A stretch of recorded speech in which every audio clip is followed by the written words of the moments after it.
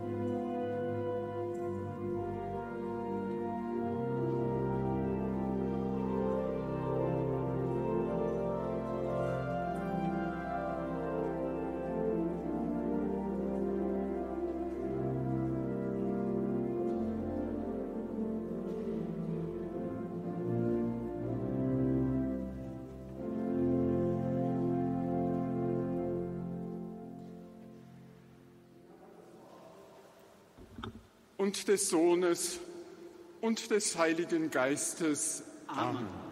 Die Gnade unseres Herrn Jesus Christus, die Liebe Gottes des Vaters und die Gemeinschaft des Heiligen Geistes sei allezeit mit euch. Liebe Mitchristen, vor allem auch liebe Hörerinnen und Hörer von Radio Gloria, seien Sie alle herzlich willkommen zu dieser Eucharistiefeier. Es freut mich, dass Sie an diesem Festtag Ihren Weg nach Einsiedeln gefunden haben.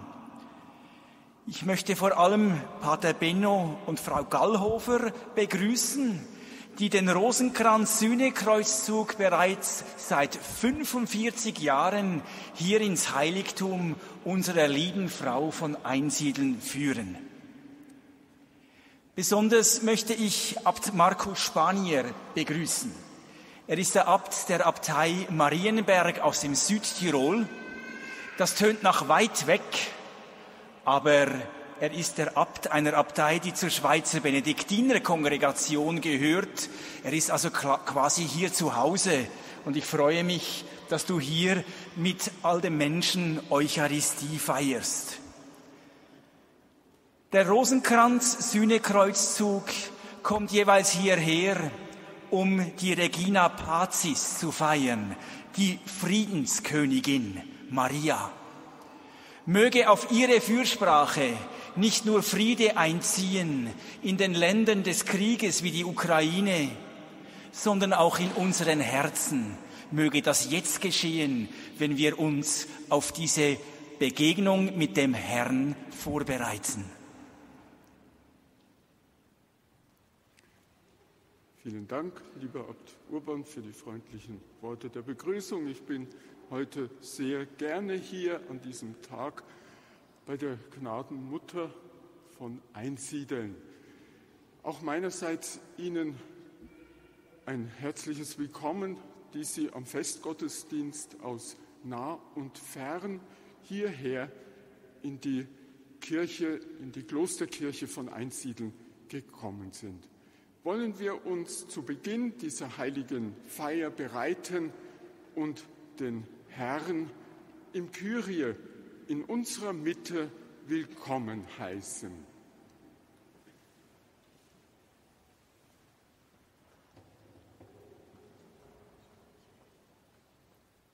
Erbarme dich, Herr, unser Gott, erbarme dich. Wir haben vor dir gesündigt. Erweise, Herr, uns deine Huld. Und schenke uns dein Heil. Nachlass, Vergebung und Verzeihung unserer Sünden gewähre uns der allmächtige und gütige Herr. Amen. Wir stimmen ins Gloria ein mit der Nummer 80.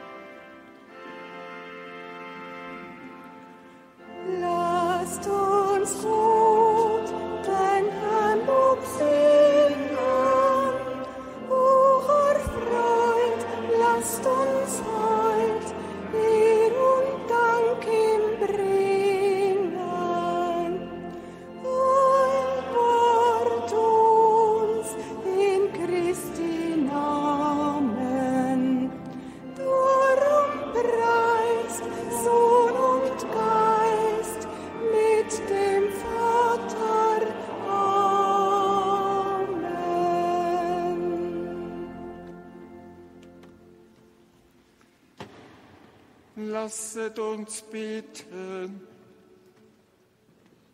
Allmächtiger Gott, gieße deine Gnade in unsere Herzen ein. Durch die Botschaft des Engels haben wir die Menschwerdung Christi, deines Sohnes, erkannt Höre auf die Fürsprache der seligen Jungfrau Maria und führe uns durch sein Leiden und Kreuz, der einst zur Herrlichkeit der Auferstehung. Darum bitten wir durch ihn, Jesus Christus, deinen Sohn, unseren Herrn und Gott, der in der Einheit des Heiligen Geistes mit dir lebt und herrscht in alle Ewigkeit.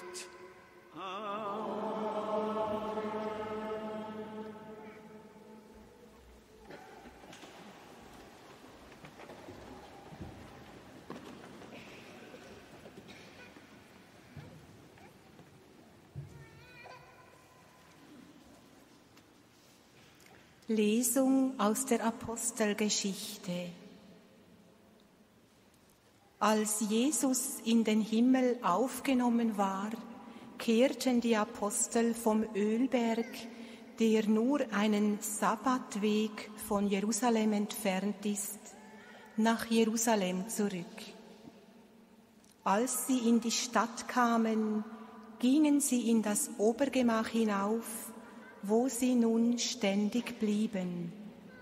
Petrus und Johannes, Jakobus und Andreas, Philippus und Thomas, Bartholomäus und Matthäus, Jakobus, der Sohn des Alphaeus und Simon der Zelot, sowie Judas, der Sohn des Jakobus. Sie alle verharrten dort einmütig im Gebet, zusammen mit den Frauen und mit Maria, der Mutter Jesu und mit seinen Brüdern. Wort des lebendigen Gottes. Als Antwort auf die Lesung singen wir den Kehrvers bei Nummer 85, 7.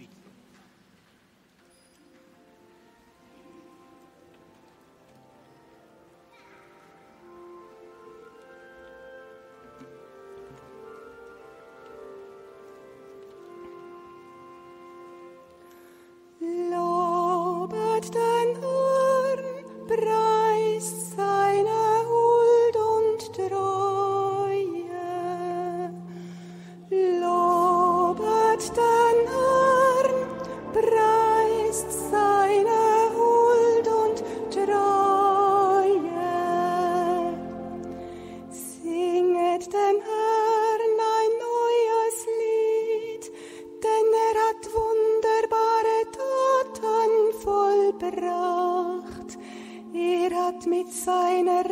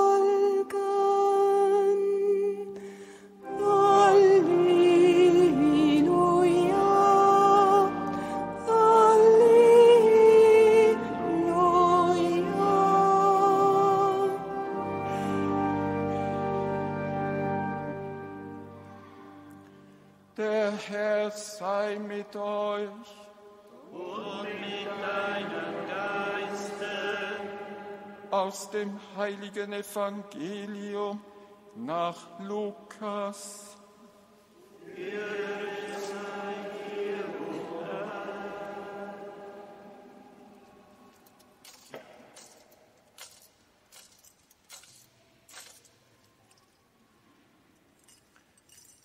In jener Zeit wurde der Engel Gabriel von Gott in eine Stadt in Galiläa namens Nazareth zu einer Jungfrau gesandt. Sie war mit einem Mann namens Josef verlobt, der aus dem Haus David stammte. Der Name der Jungfrau war Maria. Der Engel trat bei ihr ein und sagte, sei gegrüßt, du Begnadete, der Herr ist mit dir. Sie erschrak über die Anrede und überlegte, was dieser Gruß zu bedeuten habe. Da sagte der Engel zu ihr, Fürchte dich nicht, Maria, denn du hast bei Gott Gnade gefunden. Du wirst ein Kind empfangen, einen Sohn wirst du gebären, dem sollst du den Namen Jesus geben. Er wird groß sein und Sohn des Höchsten genannt werden. Gott der Herr wird ihm den Thron seines Vaters David geben. Er wird über das Haus Jakob in Ewigkeit herrschen und seine Herrschaft wird kein Ende haben. Maria sagte zu dem Engel, wie soll das geschehen, da ich keinen Mann erkenne? Der Engel antwortete ihr, der Heilige Geist wird über dich kommen und die Kraft des Höchsten wird dich überschatten. Deshalb wird auch das Kind heilig und Sohn Gottes genannt werden. Auch Elisabeth, deine Verwandte, hat noch in ihrem Alter einen Sohn empfangen, obwohl sie als unfruchtbar galt, ist sie jetzt schon im sechsten Monat denn für Gott ist nichts unmöglich. Da sagte Maria, ich bin die Magd des Herrn, mir geschehe, wie du es gesagt hast. Danach verließ sie der Engel. Evangelium unseres Herrn Jesus Christus. Lob sei dir, Christus.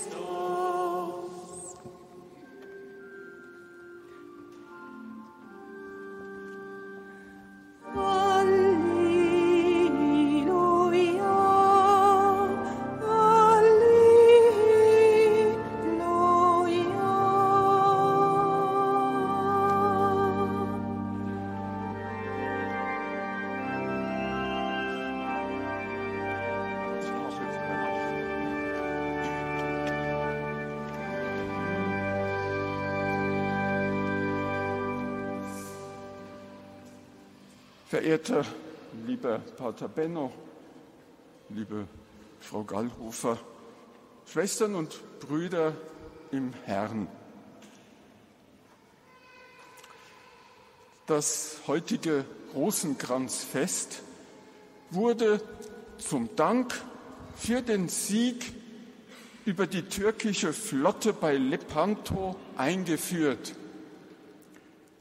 Mehr als der Kriegskunst des Juan d'Austria hat man diesen Sieg der christlichen Flotte dem inständigen Rosenkranzgebet zugeschrieben. Vier Jahrhunderte sind inzwischen vergangen. Die Welt hat sich verändert. Wenn die Menschen von damals heute zu uns kämen, sie würden nur so staunen, was da alles anders geworden ist. Und doch gibt es auch Vergleichbares. Auch wir leben in einer Zeit mit großen und vielfältigen Nöten. Schauen wir uns nur in der Welt um. Da leben ganze Völker in Hunger und Elend. Da gibt es Regionen, in denen die Waffen einfach nicht zur Ruhe kommen und die Menschen ihres Lebens nicht sicher sein können. Diese Nöte sind teils weit weg von uns und doch sind sie vor unserer Haustüre. Wenn wir an den Ukraine-Krieg denken, mit all den Volken, die Europa vor enorme Herausforderungen stellt. Damit einhergehend macht sich auch zunehmend Armut breit. Auch Ängste sind da wegen des ungewissen Ausgangs des Ukraine-Krieges mit Blick auf die vorgestern offiziell annektierten ukrainischen Gebiete durch Russland. Werfen wir unseren Blick auf das kirchliche Leben. Da stoßen wir bald auf geistliche Nöte.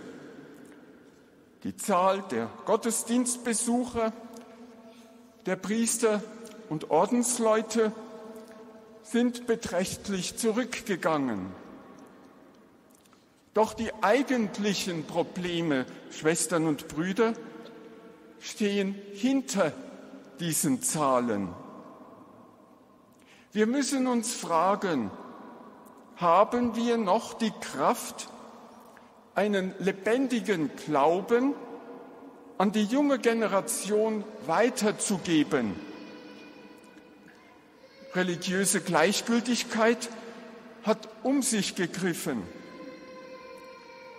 Sind wir etwa dabei, unser kostbares christliches Erbe verkommen zu lassen? In unserer Gesellschaft nimmt Gott nicht mehr den Platz ein, der ihm gebührt.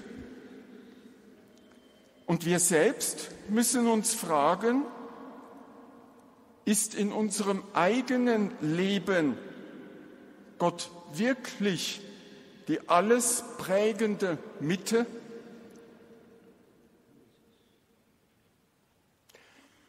Ein schwaches Christentum hat keine Zukunft. Das ist die geistliche Not, die uns herausfordert und der wir uns stellen müssen. Das sind die eigentlichen Probleme. Um hier Abhilfe zu schaffen, werden Strategien entwickelt, Programme entworfen, die essentiell nicht viel weiterbringen. Denken wir konkret an den synodalen Weg in Deutschland, und ich sage das als deutscher Staatsbürger. An den synodalen Weg in Deutschland, deren Mitglieder, zumindest ein Großteil davon, sich der irrigen Meinung hingibt, dass der Glaubensschwund und die hohen Austrittszahlen allein an den angeblich veralteten Strukturen der katholischen Kirche läge. Doch hilft das wirklich weiter? Schauen wir auf Maria, wie es in früheren Zeiten die Menschen getan haben. Daran hat sich auch nach 400 Jahren nichts geändert. Sie legt uns ans Herz, was sie den Dienern bei der Hochzeit von Kana gesagt hat. Was er euch sagt, das tut. In den Herzen, Schwestern und Brüder, fallen die Entscheidungen, bei denen es um unser Heil geht. Unser Herz ist das Kampffeld, auf dem die Schlacht gewonnen oder verloren wird. Das zeigt uns unübersehbar die Heilsgeschichte. Schon am Anfang im Paradies kommt die Sünde in die Welt durch den Ungehorsam der Stammeltern, die sich über das Gebot Gottes hinwegsetzten. Und mit der Sünde kam der Tod in die Welt, so bei Apostel Paulus im fünften Kapitel des Römerbriefes. Durch den Gehorsam Jesu kommt die Erlösung in die Welt. Am Ölberg betet Jesus zum Vater, nicht wie ich will, sondern wie du willst. Durch seinen Gehorsam, der ihn in den Tod am Kreuz führt, hat Jesus gesiegt und der Welt das Heil gebracht. Wie Eva mit Adam in Ungehorsam vereint war, so war Maria unter dem Kreuz im Gehorsam mit Jesus vereint. Siehe, ich bin die Magd des Herrn, mir geschehe, wie du es gesagt hast, antwortet sie dem Engel. Und dieses Fiat, Schwestern und Brüder, das Ja-Wort bei der Verkündigung löst sie ein unter dem Kreuz des Herrn. Die Schlachten, in denen es um unser Heil geht, werden auch heute in den Herzen gewonnen oder verloren. In ihnen geht es darum, auf Jesus zu hören und seinen Willen zu tun. Dazu ruft uns Maria auf. Was er euch sagt, das tut. Wir müssen darum still werden im Lärm der Welt und auch den Lärm in unseren Herzen zum Schweigen bringen. Nur so werden wir fähig, seine Stimme zu hören. Dabei müssen wir ehrlich und offen hinhören. Warum? Denn zu leicht halten wir unsere Meinung für seinen Willen verwechseln unsere Absichten mit seinen Plänen. Dann gilt es zu tun, was er uns sagt.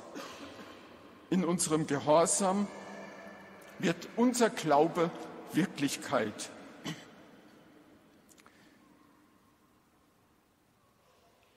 Der Glaubensgehorsam, von dem der heilige Paulus in Römer 1.5 spricht, den wir im Herzen vollziehen, muss schließlich zur Tat werden und unser Leben bestimmen. Andernfalls bleibt er fruchtlos. Das ist die Aufgabe eines jeden, und zugleich unsere gemeinsame Aufgabe. Miteinander müssen wir uns einsetzen, dass unser kostbares christliches Erbe nicht verkommt und der Glaube dort, wo wir hingestellt sind, nicht schwach wird, verwelkt, ja gar abstirbt. Doch Schwestern und Brüder, ist das nicht etwas zu hoch gegriffen? Wir sind doch mittlerweile eine Minderheit. Der Wind weht uns von allen Seiten ins Gesicht. Stehen wir heute nicht auf verlorenem Posten da? Nein, Minderheiten werden sie zur Mehrheit, wenn sie nur genügend Kraft aufbringen und sich nicht entmutigen lassen. Am Anfang waren es auch nur zwölf. Und wohin die Kirche im Lauf ihrer Geschichte kam, hat sie immer mit wenigen begonnen. Der heilige Benedikt begann auch mit ganz wenigen Mönchen. Schwestern und Brüder, wir haben eine unerschöpfliche Kraftquelle. Das ist Jesus Christus. Aus seinem durchstochenen Herzen fließt das Wasser des Lebens auch heute. Und dieses Wasser vermag sogar eine Wüste in eine blühende Landschaft zu verwandeln. Denn dieses Wasser ist Gottes Geist, der lebendig macht und das Angesicht der Erde erneuert. Maria stand unter dem Kreuz ihres Sohnes. Aus seinem durchstochenen Herzen hat sie die Kraft des lebensspendenden Gottesgeistes empfangen und ist so an der Seite des am Kreuz siegenden Herrn, die heilige Maria vom Siege geworden. Stellen auch wir uns mit Maria unter das Kreuz und schöpfen wir aus dem Herzen Jesu das Wasser des Lebens, seinen lebensspendenden Geist. In seiner Kraft dürfen wir mithelfen, dass der Glaube lebt und die Kirche unserer Tage zu einer blühenden Landschaft wird. Eine große Hilfe und Kraftquelle, Schwestern und Brüder, ist das Rosenkranzgebet, das ich Ihnen vor allem jetzt im Oktober ans Herz lege. Lassen Sie sich auf keinen Fall entmutigen, wenn Ihre Gedanken bei den vielen Wiederholungen abschweifen. Denn wer 53 Mal das Gegrüßet seist du Maria betet, kann nicht mit jedem Wort bei der Sache sein.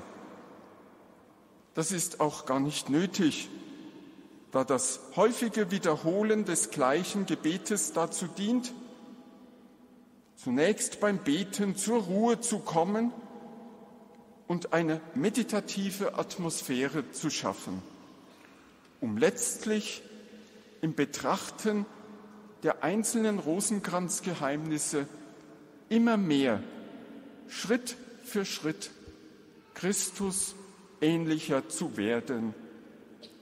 Amen.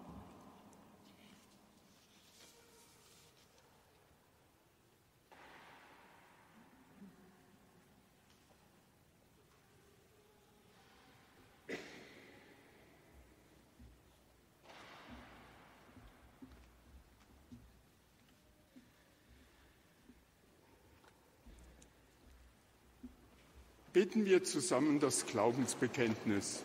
Ich glaube an Gott, den Vater, den Allmächtigen, den Schöpfer des Himmels und der Erde, und an Jesus Christus, seinen eingeborenen Sohn, unseren Herrn, empfangen durch den Heiligen Geist, geboren von der Jungfrau Maria, gelitten unter Pontius Pilatus, gekreuzigt, gestorben und begraben, stiegen in das Reich des Todes, am dritten Tage auferstanden von den Toten, aufgefahren in den Himmel. Er sitzt zur Rechten Gottes des allmächtigen Vaters. Von dort wird er kommen, zu richten die Lebenden und die Toten. Ich glaube an den Heiligen Geist, die heilige katholische Kirche, Gemeinschaft der Heiligen, Vergebung der Sünden, Auferstehung der Toten und das ewige Leben. Amen.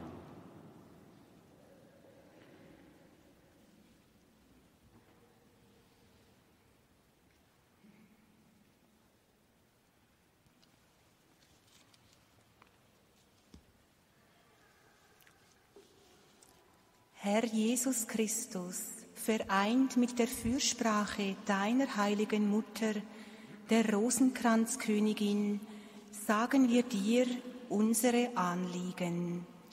Lass die Heiligen, Bruder Klaus und Meinrad, Fürsprecher sein, um den Frieden in Kirche und Welt, besonders in der Ukraine. Christus, höre uns. Christus, erhöre uns. Gib, dass die Corona-Pandemie und all ihre Auswirkungen mit deiner Hilfe und durch unsere Achtsamkeit eingedämmt werden kann. Christus, höre uns. Christus, erhöre uns. Segne die Ehen und Familien unserer Heimat und schenke uns gute Priester und Ordensberufe. Christus, höre uns. Christus, uns. Schenke den jungen Menschen Orientierung für ihr Leben. Christus, höre uns. Christus, uns.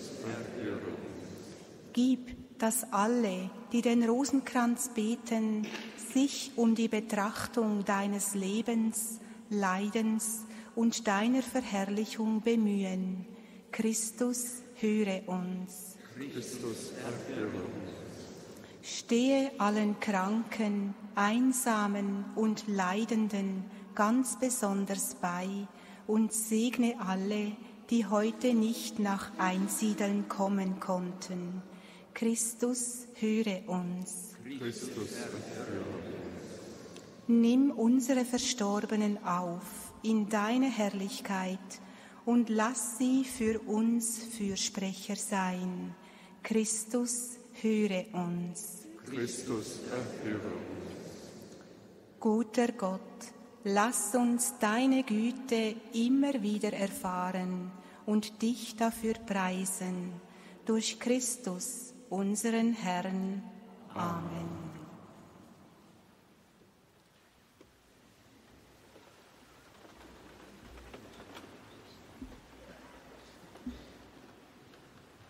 Zur Gabenbereitung singen wir das Lied Nummer 763.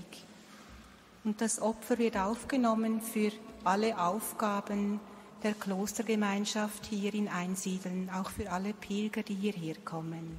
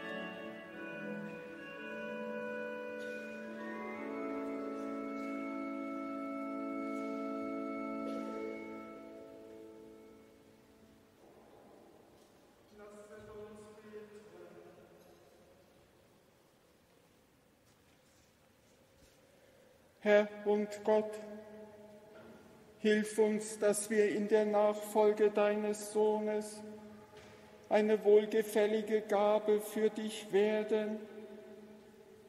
Und lass uns die Geheimnisse unseres Heils so feiern, dass wir erlangen, was uns Christus verheißen hat, der mit dir lebt und herrscht in alle Ewigkeit.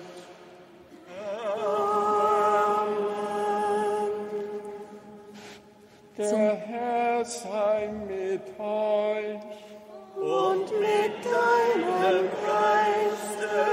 Erhebet die Herzen. Wir loben sie.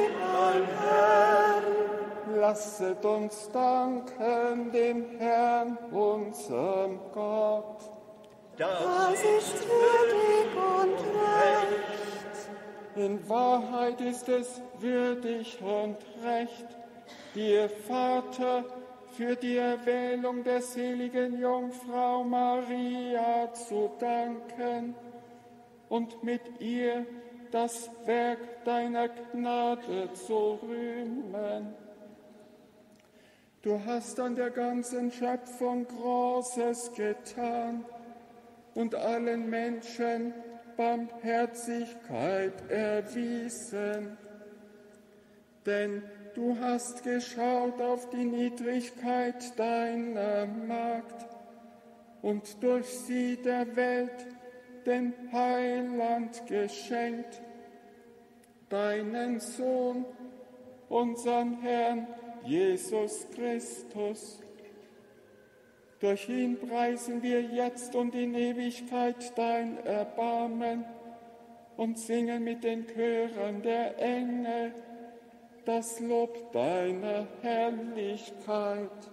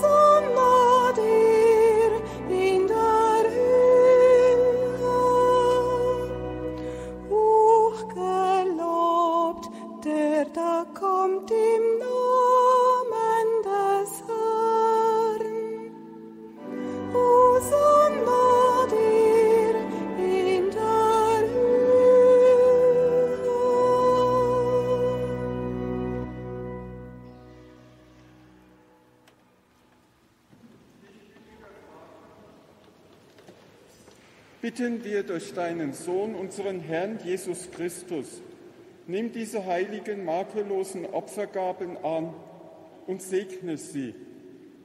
Wir bringen sie dar, vor allem für deine heilige katholische Kirche, in Gemeinschaft mit deinem Diener, unserem Papst Franziskus, mit unserem Bischof Bonemann und mit allen, die Sorge tragen für den rechten katholischen und apostolischen Glauben. Schenke deiner Kirche Frieden und Einheit, behüte und leite sie auf der ganzen Erde. Gedenke deiner Diener und Dienerinnen, für die wir heute besonders beten, und aller, die hier versammelt sind. Herr, du kennst ihren Glauben und ihre Hingabe. Für sie bringen wir dieses Opfer des Lobes dar und sie selber weihen es dir für sich und für alle, die ihnen verbunden sind, für ihre Erlösung und für ihre Hoffnung auf das unverlierbare Heil. Vor dich, den ewigen, lebendigen und wahren Gott, bringen sie ihre Gebete und Gaben. In Gemeinschaft mit der ganzen Kirche gedenken wir deiner Heiligen. Wir ehren vor allem Maria, die glorreiche, allzeit jungfräuliche Mutter unseres Herrn und Gottes, Jesus Christus. Wir ehren ihren Bräutigam, den heiligen Josef, deine heiligen Apostel und Märtyrer, Petrus und Paulus, Andreas und alle deine Heiligen. Blicke auf ihr heiliges Leben und Sterben und gewähre uns auf ihre Fürsprache, Hilfe und Schutz. Nimm gnädig an, o oh Gott, diese Gaben deiner Diener und deiner ganzen Gemeinde. Ordne unsere Tage in deinem Frieden. Rette uns vor dem ewigen Verderben und nimm uns auf in die Schar deiner Erwählten. Schenke, o oh Gott, diesen Gaben Segen in Fülle und nimm sie zu eigen an. Mache sie uns zum wahren Opfer im Geiste, das dir wohlgefällt, zum Leib und Blut deines geliebten Sohnes, unseres Herrn Jesus Christus. Am Abend vor seinem Leiden nahm er das Brot in seine heiligen und ehrwürdigen Hände, erhob die Augen zum Himmel zu dir, seinem Vater, dem allmächtigen Gott, sagte dir Lob und Dank, brach das Brot, reichte es seinen Jüngern und sprach, Nehmet und esset alle davon, das ist mein Leib der für euch hingegeben wird.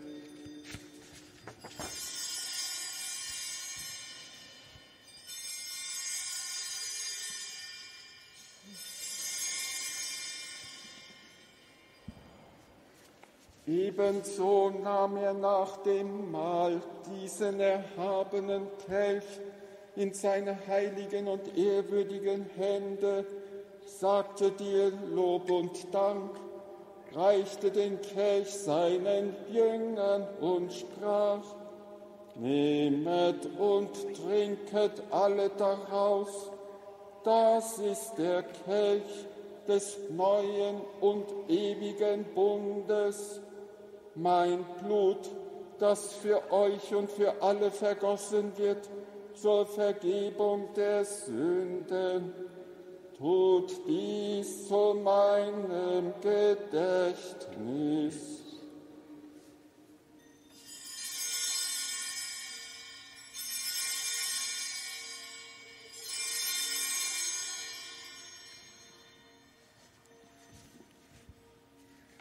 Geheimnis des Glaubens, deinen Tod, o Herr, verkünden wir und deine Auferstehung preisen wir, bis du kommst in Herrlichkeit.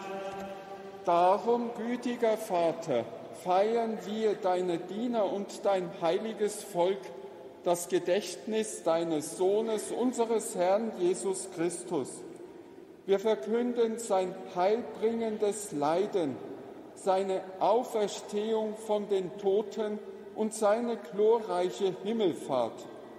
So bringen wir aus den Gaben, die du uns geschenkt hast, dir, dem erhabenen Gott, die reine, heilige und makellose Opfergabe dar, das Brot des Lebens und den Kelch des ewigen Heiles.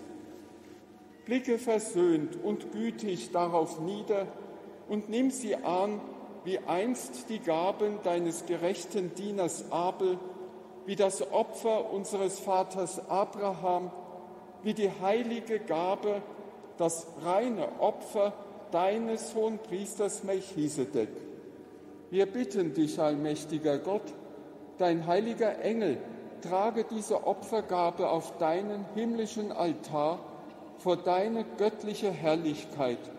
Und wenn wir durch unsere Teilnahme am Altar den heiligen Leib und das Blut deines Sohnes empfangen, erfülle uns mit aller Gnade und allem Segen des Himmels. Gedenke auch deiner Diener und Dienerinnen, die uns vorausgegangen sind, bezeichnet mit dem Siegel des Glaubens und die nun ruhen in Frieden. Wir bitten dich, führe sie und alle, die in Christus entschlafen sind, in das Land der Verheißung, des Lichtes und des Friedens. Auch uns, deinen sündigen Dienern, die auf deine reiche Barmherzigkeit hoffen, gib Anteil und Gemeinschaft mit deinen heiligen Aposteln und Märtyrern, Johannes, Stephanus, Matthias, Barnabas und mit allen deinen Heiligen. Wäge nicht unser Verdienst, sondern schenke gnädig Verzeihung und gib uns mit ihnen das Erbe des Himmels. Darum bitten wir dich durch unseren Herrn Jesus Christus, denn durch ihn erschaffst du immerfort all diese guten Gaben und gibst ihnen Weihe und spendest sie uns. Durch ihn und mit ihm und in ihm ist dir Gott ein mächtiger Vater in der Einheit des Heiligen Geistes alle Herrlichkeit und Ehre, jetzt und in Ewigkeit.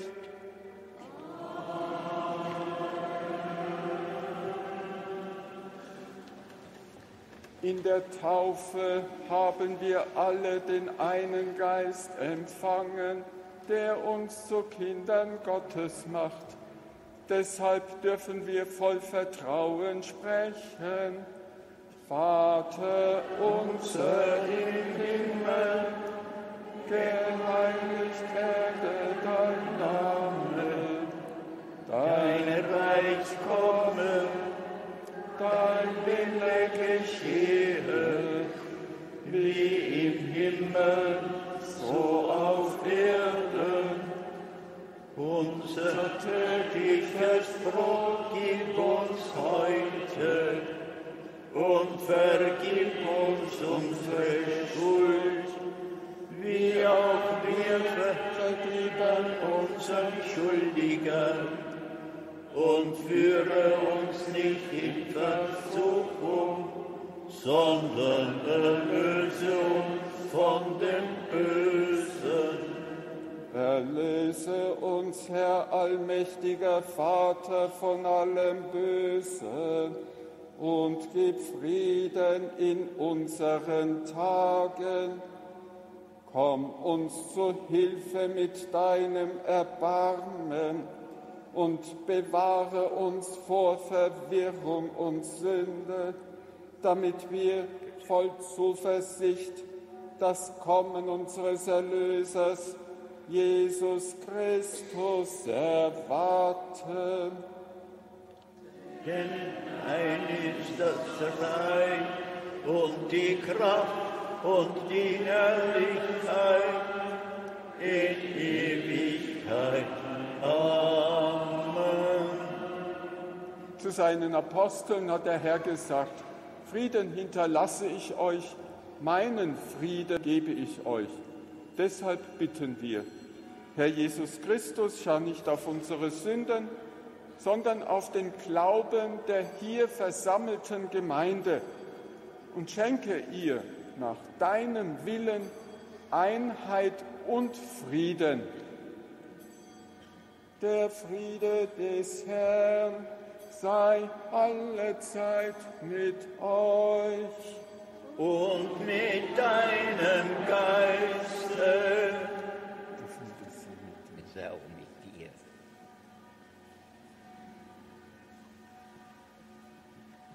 Wir singen bei Nummer 128.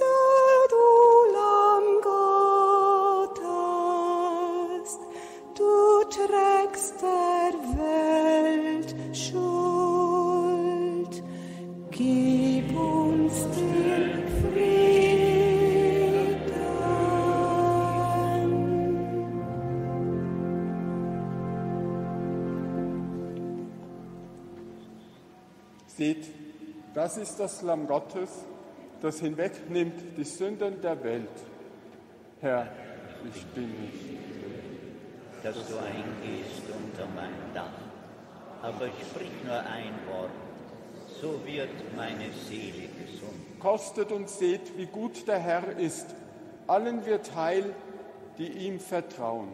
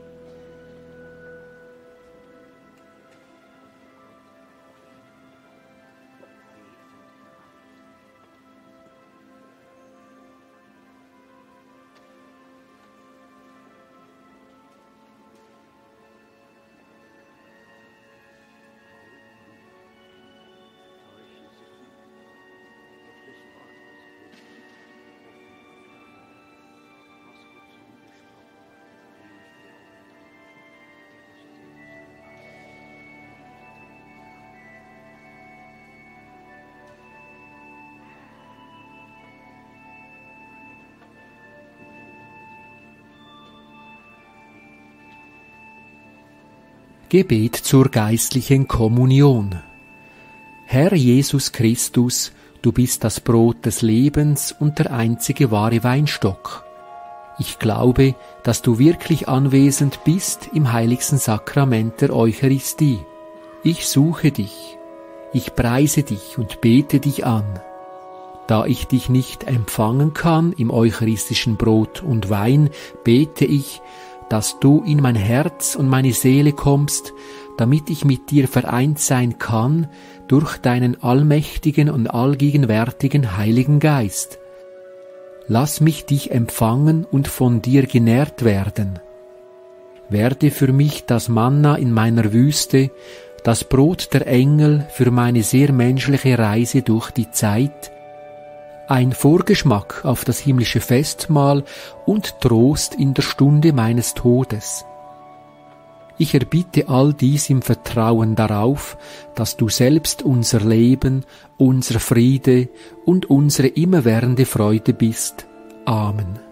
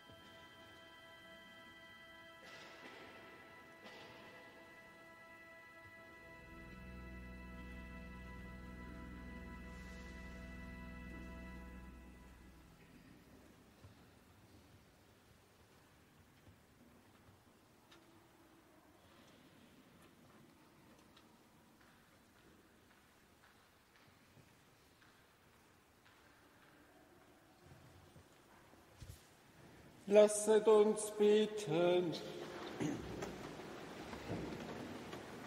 Herr unser Gott, in der Feier des Opfers verkünden wir den Tod und die Auferstehung deines Sohnes, da wir im Leiden mit ihm vereint sind.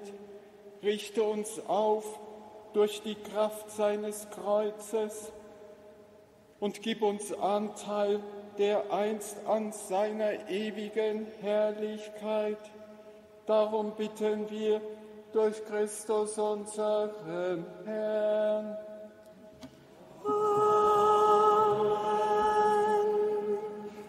Wir singen bei Nummer 758 erste und zweite Strophe.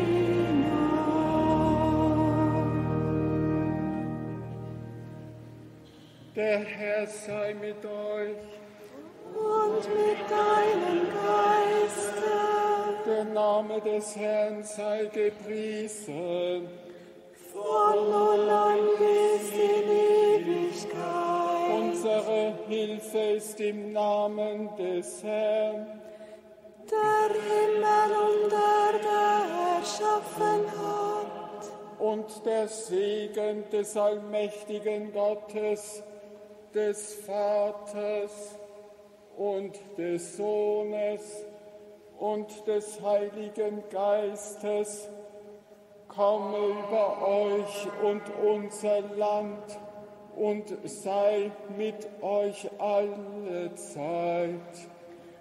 Amen. Ihnen allen noch einen gesegneten Tag hier in Maria einsiedeln. Geht hin in Frieden, Halleluja, Halleluja.